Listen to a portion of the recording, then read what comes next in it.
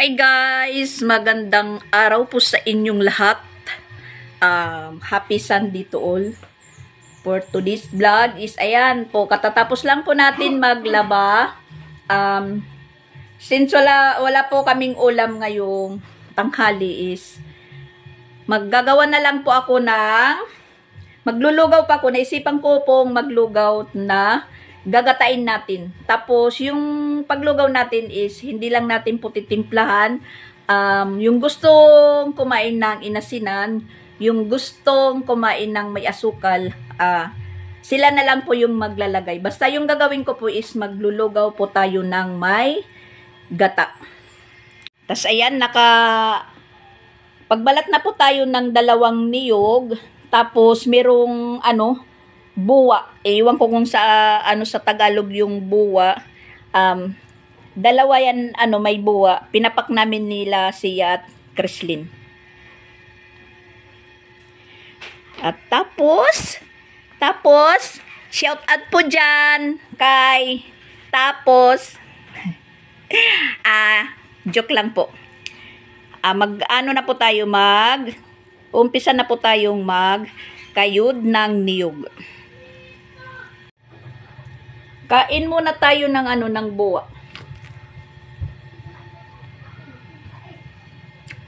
Si Sia, gustong gusto nito. Pag nagano ako nang yung tatanungin niya, may ada uh, may meron daw ko nung ano sulod. Meron daw meron daw laman. Yung ibig niyang sabihin kung meron daw buwa. Pag nagpapakayod po ako sa merkado, pinipili ko po yung mayroong ano, ah, tawagin sa amin tumus. Kasi pag may tumus na, ah, yun, meron na pong, pong buwa. Tapos, um, sasabihin ko sa nag, nagkakayod na isama po yung ano, yung buwa, wag itapon dahil kinakain po namin.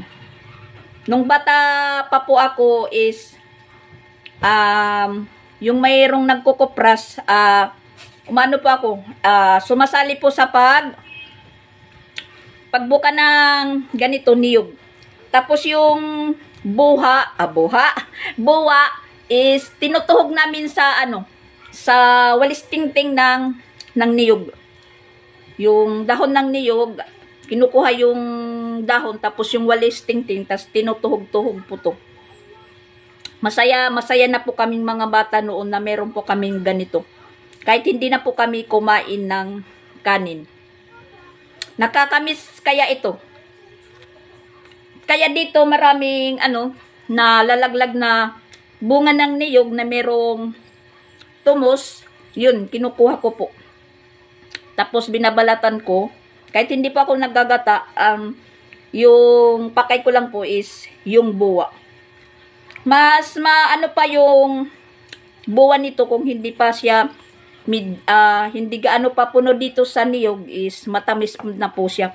Pero kung punong-puno na wala na pong sabaw, yun. Matabang na po yung ano, yung buwa.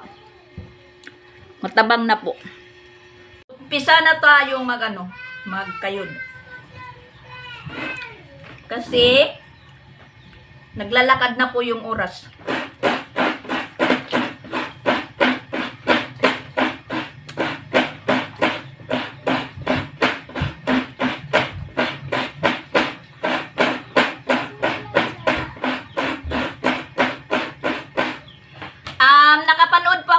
Kanina ng live ni Mama Pix, ah, uh, nandoon yung papa ni, ano, ni, ni Sansan. Pumasyal.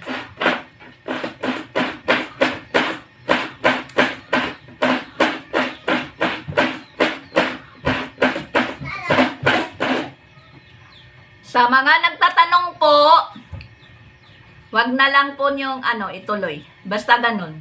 Um, yung masasabi ko lang is, walang samaan ng loob, and uh, mabuti na po yung mga, yung peace of mind, wala, walang, ano, yun nga, walang samaan ng loob. Kasi hindi natin po alam kung ano ang mga problema nila, kada isa, tapos, ako naman hindi naman dapat manghimasok kasi, uh, hindi ko alam kung ano yung mga pangyayari dahil hindi ko naman sila po kada oras binabantayan. Siyempre, hindi maiwasan ang ganun. Pero okay naman po sila. Wala namang hassle. Um, yung sa akin lang is, ganyan lang po kami, um, walang samaan ng loob dahil ako is mahabang pasensya ko.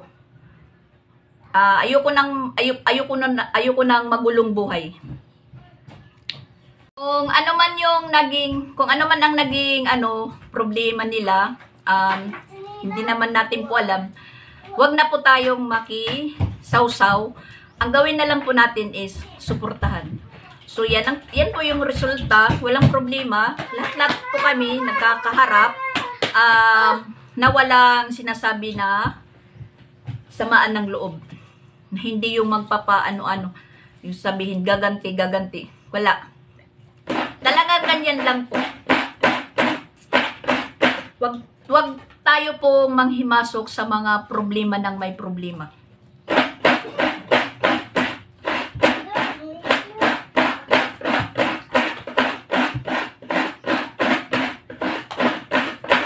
Kung andun, andun nga sila sa bahay ngayon na nagpumasyal. Tapos, ayun, kung ano ang nasimulan na pakikibagay, yun pa rin hanggang ngayon. Wala pong pinag-iba. Kasi yun nga, sabi ko, hindi po natin alam kung ano ang naging problema ni- nila. Na, na yung sitwasyon. Yung sa atin na lang po is, suportahan na, natin po sila. Na walang maging problema.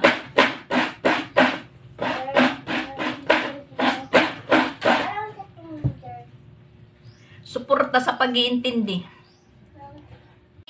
Lang po natin na wala silang forever. Yung forever po is nasa akin. Joke. nasa akin po yung forever. Forever sa pananaway. Forever sa lahat-lahat. Kasi kagabi nagka nagka-chat po kami ni ano ni Sunny. Ano sa buhi na. Sus, liwat ito. Tulo na la, nakadto. Tapos ano, ito na buong. Nabu, nabu kaya di. Ayo, ikaw na ganit makaong. Bumili si Sansan ng itlog na nakuan, nabasag. Tangala dida. Nag-chat po kami ng papa niya kagabi, tapos sila ni Sansan, magka-chat din. Um, kasi ano, pinag-usapan po namin yung live birth ni ni Sansan kasi yung papa niya yung nag-ano doon, nag-asikaso sa sa PSA kasi hindi naman po pwede si mamawalin yung mag-asikaso dahil malayo nga siya. So, naasikaso naman po, sabi ng city, ah, city ho, as PSA na ano pa daw, mag, magbibilang pa ng tatlong buwan or 6 month. Eh, sa February 25, magsi 6 month na daw. Um, kinumusta ko po si Sunny, yung papa ni Sansan, kung may record na ba si Sansan sa PSA kasi hinihingian na po ng live birth si Sansan ng teacher na, niya. Um, tapos bukas, card din nila. Pinapapunta po ako doon. Tapos hinihingian na talaga siya ng live birth. Hindi naman po makapag-explain si, si Sansan kasi hindi niya po talaga alam pa yung magsalita ng Bisaya. Hindi, hindi po sila nagkakaintindihan ng teacher niya. So, chinat ko nga yung papa niya na kung okay na yun, sabi sa akin, reply, sa February 25 pa daw siya pupunta ng Tacloban dahil nasa Abuyog po siya, um, pupunta siya ng PSA, ah, titingnan niya po kung okay na. Siguro may, may record na, may record na yun, na pwede ko na rin po dito ah, kuhain. Kunin namin ni Sansan dito sa munisipyo, Katmon, kung meron na po siyang record. Ah, pwede naman po si si Sansan yung kumuha dahil may ID naman po siya tapos pang personal na gamit niya. Hindi naman po ako po pwedeng kumuha kasi marami pang ah, hihingiin na authorization. So, Nagtanong pa ako sa papa ni ano ni ni, ni Sansan. Nag-reply, yun nga, nag-reply. Sabi niya February 25 pa daw siya pupunta ng Tacloban. Tapos kanina um, nag nag chat si Rosanna nandun sa bahay si si Sunny. Um, dala yung dalawang anak niya. Tapos, tinanong ko po si Sunny kung ba't nandyan kayo sa bahay? Sabi mo, February 25. Sabi, ah, sabi niya, nag-request daw yung dalawang anak niya na mamasyal po sa bahay. Is, since may motor naman po sila. So, yun, na, namasyal po sila sa MacArthur Park. Tapos, hindi naman po maulan ngayon doon sa Tacloban, pari dito sa Sugod. So, nagdiretso po sila sa bahay. Kaya yun, nandun sila kay Pix Vlog. Siyempre, nagtatagay-tagay. Palagi, palagi naman po na nagpapasyal yung papa ni Sansan sa bahay. Ah, lalo na po nung, ano, bagong punta lang po namin dito sa, sa Cebu, timing po, yung trabaho ni Papa ni Sansan is na destino sa Tacloban kasi yung trabaho po niya is sa Ormoc, nanggagawa po ng mga cabinet sa mga eskwelahan. Tapos timing po, na destino po sila ng Tacloban. Tapos malayo po yung abuyog na uuwian. Um, nagano po siya, ah, nagpaalam na kung sa bahay lang muna sila uuwi, dalawa po sila ng ano niya, ah, helper. Kung dalawang dalawang week, dalawang dalawang week sila ma-uwi sa bahay kung okay lang. Sabi ko, sige. Eh, sila naman nang dun. Dua kira ka kwan. Kumana aw kwan. Kadomingo. Doon po natutulog si Sunny noong ano, nung ma-destino siya sa Tacloban. Kasi nga malayo po yung abuyog pag uwi, uwian na. Aning gugutin lang niyo. Oo. Noong ano, noong edad si Sansan ng ano to? Edad ato ka kaning papa? Wala pong katubot. Wala pa daw siya kunong isip. Nung nag-iedad pa lang si Sansan ng siguro um, mga 8 years old. Doon naman po siya kay papa niya. Pero hindi po nagtagal mga isang isang ano lang. Ha? Oh, Isang isang buwan. Iwan ko kay Sansan. Isang buwan lang yata. Doon Si sa ano. Terson pa ni ma. Kuntik. Oo. Ah, kasi nagluluto si Sansan ng ano, ng scramble na ah, omelet. Omelet na itlog. Siya, siya po yung mag, nagluluto. Nagpunta pa po siya doon sa malayo dahil wala pong nag, walang mga taga-itlog dito na nagtanda, ubusan na naman po ng stock yung ano, yung mga itlog, yung taga-itlog dito. Mahirap bumili. Yun nga, ah mga ano, mga 8, 8 years old siguro si Sansan, ah nagpunta muna siya sa papa niya. Ah, walang walang klase. Nagbakasyon siya tapos nung magbalik na po yung eskwela, ah, umuwi na po siya sa sa amin. Yung mama niya wala ah, wala dito, nandoon nandoon sa Manila pa yun, sa Manila nag hindi pa nagbuhungkong. At bibi pa sila no, bibi pa sila. Ah, wala pa siguro. Ah, wala pa sila ano, wala pa sila Chrislyn Sia. Adiri, anak pag-ulit to na kadto pa manad ti mama. Pag kanto niya, da sa ano, lumakat na iya. Ah, yun, pag-uwi pa daw, ah, pag-uwi daw po no, niya noong galing siya papa niya, nandiyan pa yung mama niya. Ah, wala wala pa yun ano, wala pa sila Chrislyn at si ano? Sia. Si Sia. wala pa wala pa yung papa din nila. Iwan ko, iwan ko, iwan ko sa kanila. Basta ganun. Tapos, um, nakapag-asawa yung papa niya, no? Tapos pagpunta, pagpunta ni, ano, ni Sansan doon sa papa niya, dal, ah, anak na po yung dalawa? Anak na po yung dalawa, dalawa niyang kapatid sa, sa papa niya. Um, tapos, sa kasamaang palad din, um, yung, yung asawa ng papa niya is nag-abroad. Tapos, wala, iwan ko. Parang nababalitaan ko po na um, na, ng ibang bahay. Ay, iwan ko, hindi ko alam. Basta ganun, basta ganun. Marites na po tayo. Basta ganun yung sitwasyon. Ngayon is ano na po siya, um, solo, solo tatay na din po siya. Nagtatrabaho, nagbabantay ng anak Yan, niya. At pag may trabaho, yung nagbabantay naman po is yung ah biinan po niya.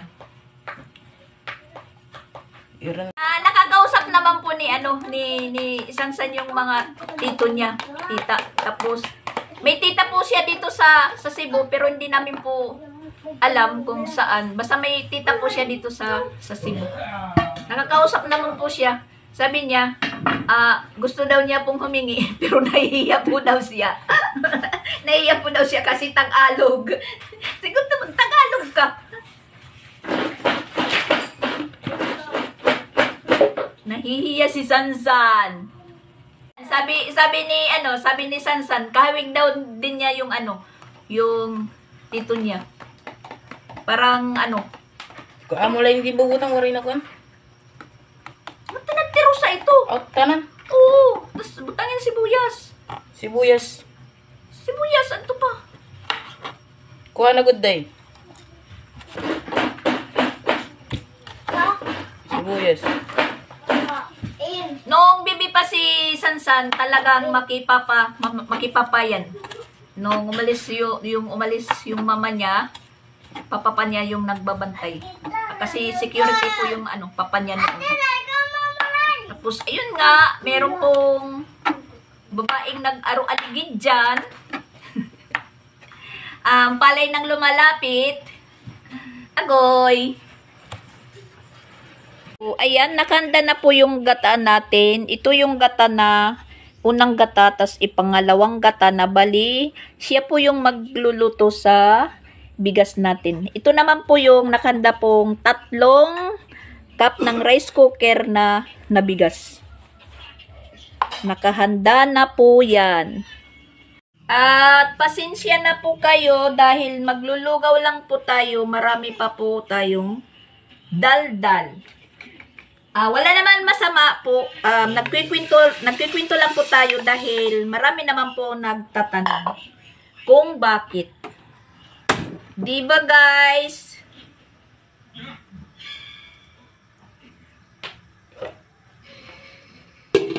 At ayan, ah, tapos na sila pong kumain dahil nagluto si ano si Sansan ng umilit. Nagluto lang naman tayo ng lugaw na para po merong pong pang-snack mamayang mga alas 3. Masarap po yung lugaw na gata. Sabi ni Sansan, yung ano daw, yung lugaw na may karne. Ah, yung tinutukoy po niya is arroz kaldo. Eh, wala po tayong pang arroz kaldo. Alam ko din magluto ng arroz kaldo.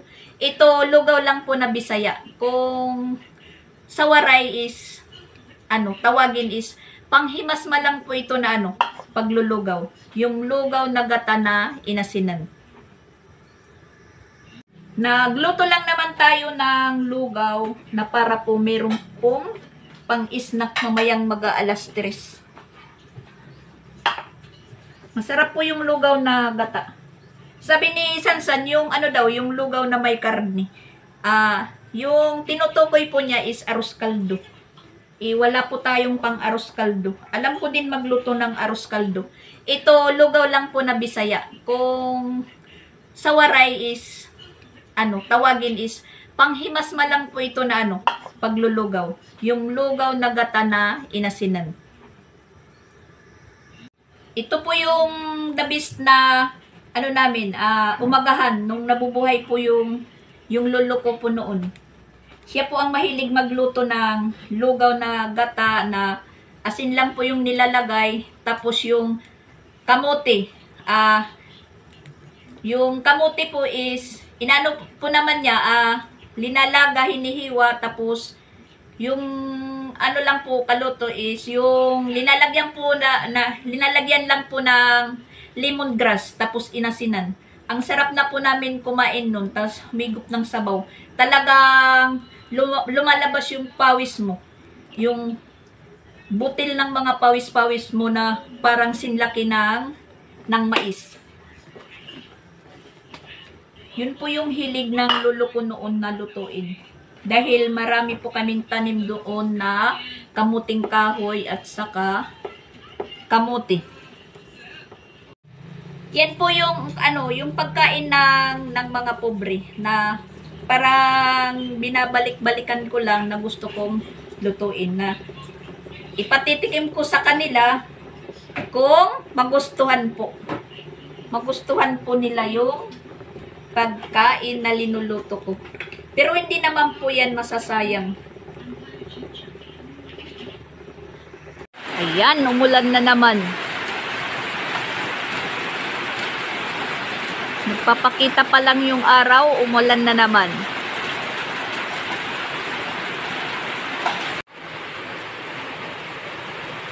So, ayan, kulo na po yung lugaw natin. Yung unang gata is saka natin po ilalagay pag medyo luto na yung ano, yung bigas. Yung parang namumuka na po yung bigas. Yung parang malapot na po siya.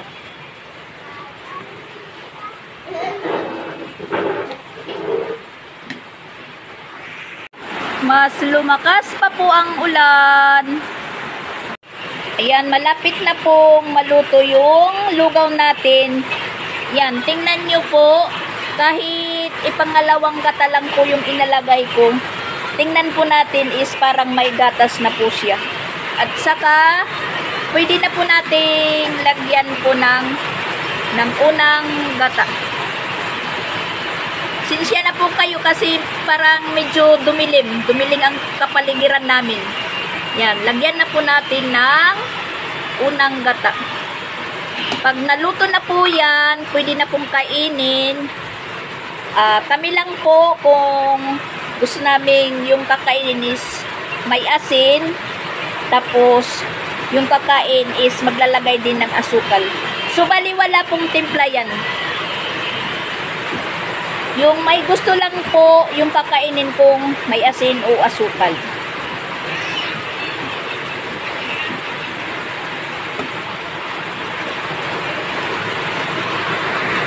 Ayan, luto na po yung lugaw natin na ginataan. Tapos, ayan, meron pa po kaming natira dito na hipon at saka umilit na luto ni Sansan.